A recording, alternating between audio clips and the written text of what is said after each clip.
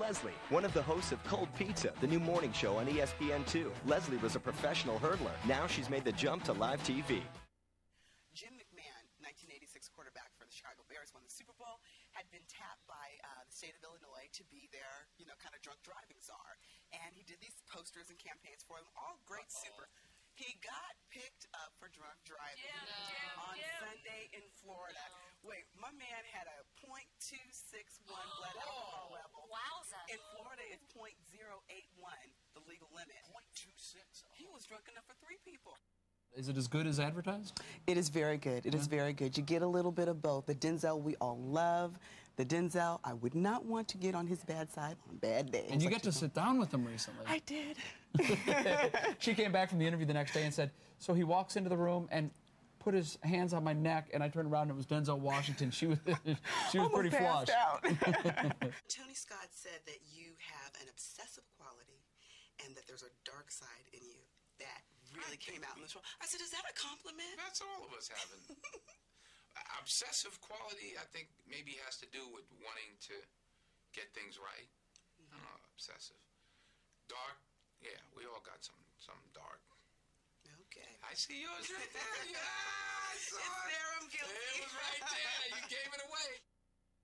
I got to get this off my chest, guys. I cannot go home. I can't go home. We had the Scrabble champ on today. My mother and my aunt Jane in California play Scrabble over the phone. 3,000 lines. No. That's one. Two, you had kids in here playing video games. Nick, mommy apologizes ahead of time. Oh my God, I can't go home. I'm done.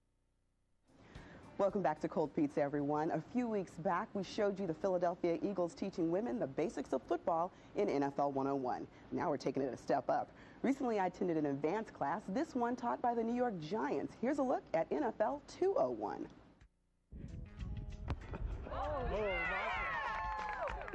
When's the last time you had a check swing? Didn't think too long about it. I don't check swing. I swing or I don't swing. That's all for the news this morning. Now with our final weather update. I surf, but I only surf in Honolulu because the shelf is not that deep, the water's not that deep, it's warm, you don't have to wear a wetsuit. What about sharks? I'm gonna have to think about it Well, twice. yeah.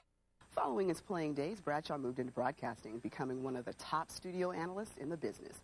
Incredibly, he accomplished all that while battling depression. Good morning, Terry. Good morning, Leslie. Good morning. Thank you How for you coming doing? I'm doing great. For all of you out there, Leslie is one tall woman. She's got legs to die for. No, oh, Is that right, you. everybody? yeah, there it is. Well, I appreciate the shout out. Okay. Well, obviously, you are one of the happiest individuals that we've had in this studio.